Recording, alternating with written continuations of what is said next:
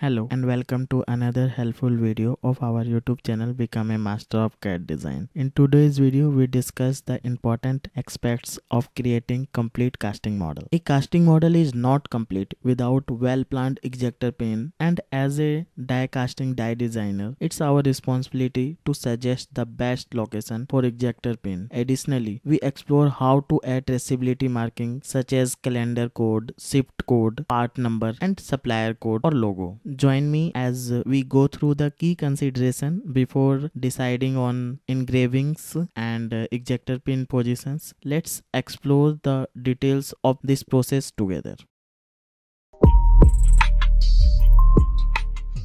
We already created the casting model in our previous video going to create the ejector pin and uh, date shape code or calendar mark. The ejector pin area we take a minimum 4% of our casting projected area. We provide the ejector pin where we think uh, there should be catching. For example this uh, profile is up in the casting so it will create catching in die. Where there is less draft it will also create a catching. So we try to provide the ejector pin near this area. Ejector pin position should should be balanced across the casting. So it will eject the part from our die without creating a band in our casting. When we provide ejector pin in our casting part, it will create a mark. For example, it can be up or it can be down. We can create ejector pin on profile area or on a flat area. When we provide profile ejector pin on casting, the casting profile will cut on ejector pin top face and the ejector pin collar need branch cut so we can prevent the ejector pin to rotate. To easy the die maintenance, sometimes we use ejector pin boss.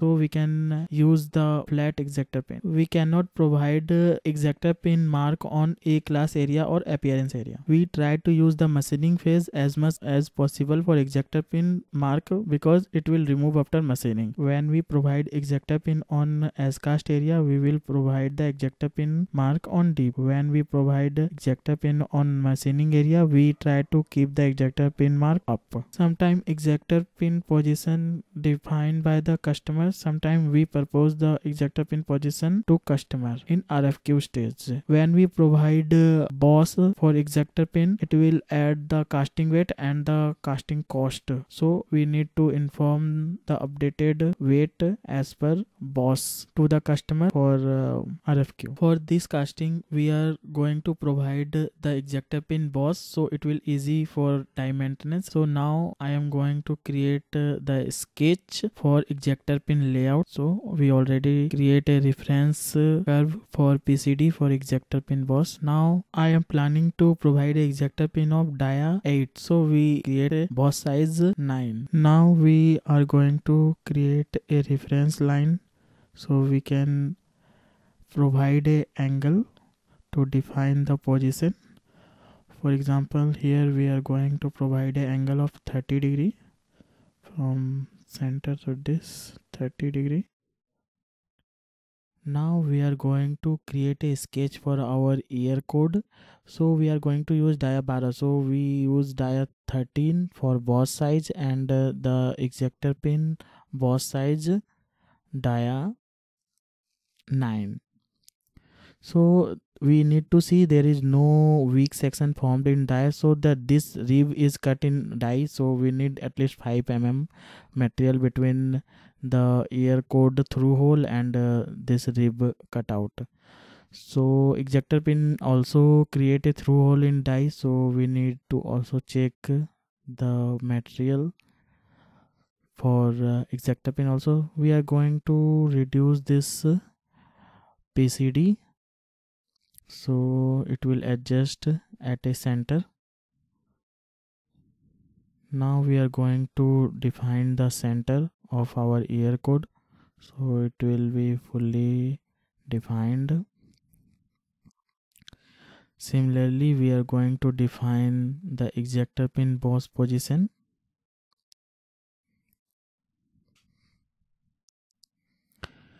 Now we are going to mirror this ejector pin hole.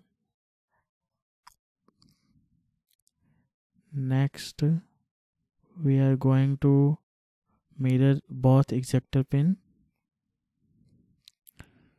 Next we also need a shift code and ejector pin at opposite side. To balance that we are going to use pattern curve.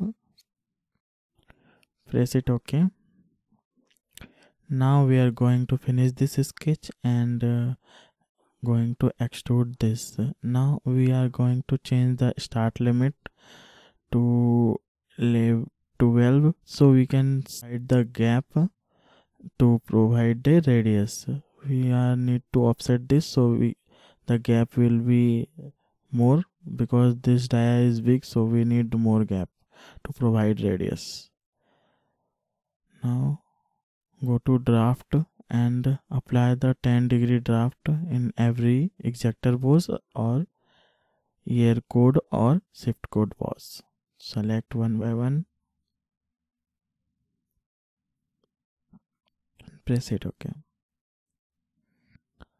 now go to unite and unite the casting model with our ejector pin boss or shift code boss model now provide the ground radius.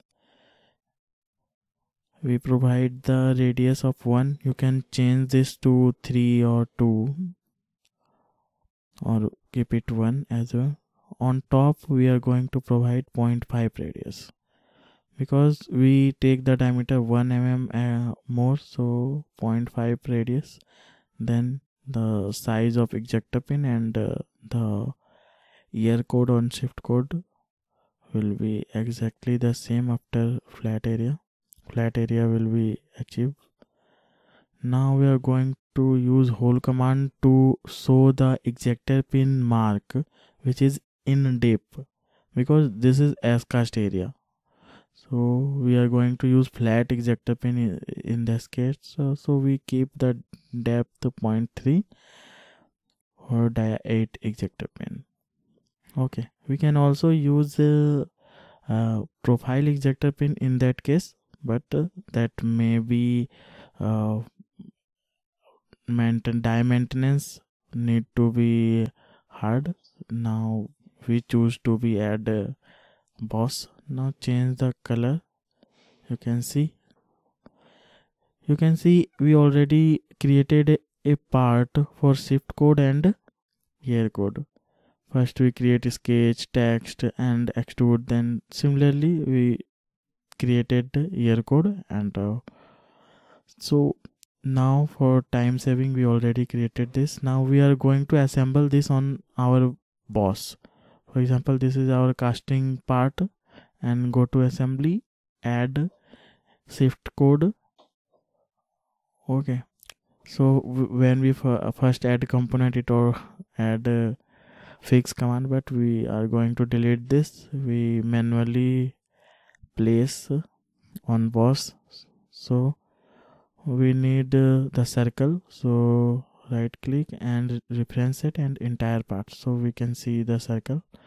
We use this circle to constant the shift code part with the boss. For example here we use the constant and place it on the boss. You can see here the degree of freedom is partially full uh, constant. So uh, you can see uh, there is one constant needed uh, that uh, shift code can be rotate. So we need to define some angle to fully constant this. So we are going to provide the angle. Select this and this plane and provide the angle. 0 so now this shift code is fully constant. You can see the dark circle which indicate fully constant. Now we are going to add a year code similarly. At first it is uh, fully white. So it means it is not defined now we are going to use the shift code. Select the year. Now we are using year code 22 you can change according to the current year. Fully constant. Assemble the const angle. Define the angle. So you can control the orientation of this. For example here we use uh, 180 or 0 degree. Okay. Now we are going to link this uh, part in casting model. Okay. So all bodies are linked. Can see keep it associative and press it ok now hide this part from assembly save this part. And now unite these bodies associate bodies with casting part. So by using this method you can easily uh, we see there is constant fill now we use again define the part. By using this method you can easily use the, the error code. Now we are going to define the text engraving text. For example first we choose to define the part number. We use text command planar text on on face and define the curve for placement. Uh, we choose the center to define the placement. Now we can also define the offset from the curve and the size of the text in this case we choose 3.5 and uh, the text we write is 8 987 654 this is only for example. Now change you can also change the font and press it ok you can see the text. Now we are going to extrude this. The draw direction must be in the direction of ejection this is important. Now the extrude value is 0.5 the text height which is also. Now we are going to provide a draft. Okay we select the face and the direction for draft. For example you can see here we need to hide to select the face easily. Now select the face one by one and okay. And the direction. Press it okay. Now provide the radius of 0.1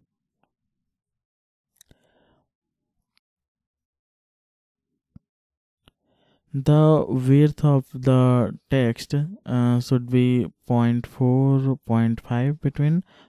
So the text will fill properly or chip off will not come in casting. We provide the radius always.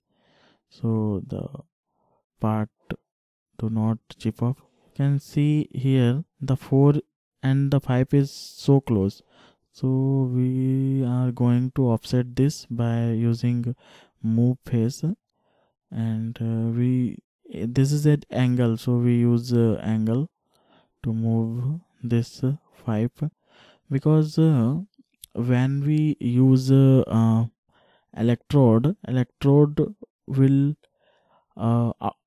electrode in electrode text are engraving upside rise on electrode. So we need to pass the cutter to manufacture the electrode. So we need at least 0.4 to 0.5 gap between this. Now similarly we are going to create a die number. For die number we use d1 and uh, the cavity number we symbol it c1 yeah, d1 c1 this uh, uh, can be changed according to customer or you can propose this. This is uh, up we done after customer approval. Now for example in our case the customer logo is 3d so we are going to little bit uh, increase the scale ratio. Now extrude the direction similarly exact ejection direction and keep that 0.5 now add draft on it.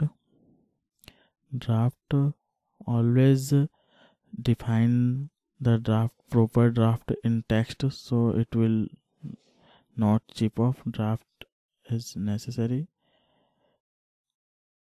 When there is text height is less we need more draft. For example in that case 0.5 we provide the 10 degree draft minimum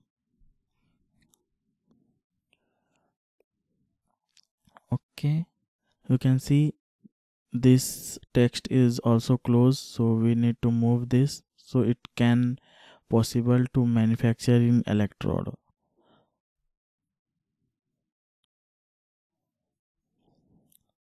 We need to pass the cutter between this. If this will too close the cutter will not pass from here. So it will not feasible to create electrode for this in some cases we directly use uh, the CNC to cut the engraving. In that case we can use closer text but when we are going to use uh, electrode we need to use 0.4 in this model we are using uh, code and shift code but uh, in some case we can also add uh, week code. Uh, it is uh, according to customer or uh, place uh, in part. Sometime we only provide the die number. Sometime we only provide die number or cavity number. So it's upon the customer approval we create a traceability marking ppt in rfq in which we provide the detail of all engraving related. Now we are going to draft analysis this to check the draft is applied everywhere or not. Go to analysis select all surfaces and define the direction. Now we can check here you can see the text is uh, draft applied in every text. Here we can see the green face. It means uh, there is no draft in that face. Other than that everything is okay. Now we are going to check this draft. Okay the draft is not applied in this face so we select the faces and uh, now it will update the model. Now we are going to check the draft again so we can confirm go to analysis. You can see this time every face is red. It means draft is applied everywhere. Thank you for watching this tutorial. If you found it helpful please give it a thumbs up and subscribe to our channel for more tutorial like this. See you in next video